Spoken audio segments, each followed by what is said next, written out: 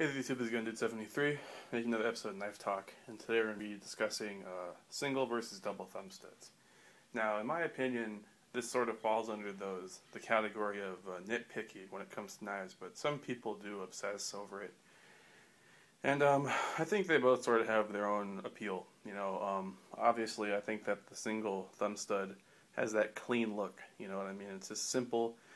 It's taking the concept of um, having the bare minimum to the extreme. You know, like if it's a right-handed knife, like on the Sebenza, you know, only putting one thumb stud on there just makes it that much more simple.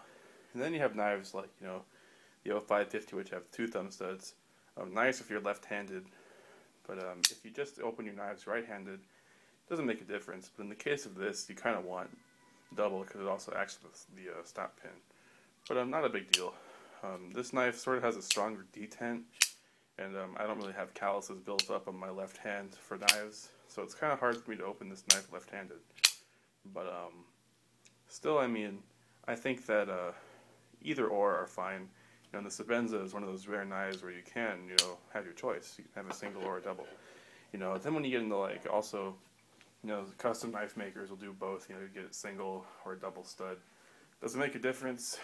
No, in my opinion. Um, if you're left-handed, then it probably makes a bigger difference. Like um, on the Cold Steel Voyager, you know, if you're a left-handed person, obviously you love the double thumb stud because that makes this knife, you know, completely ambidextrous for you. You know, so in that case, it's great.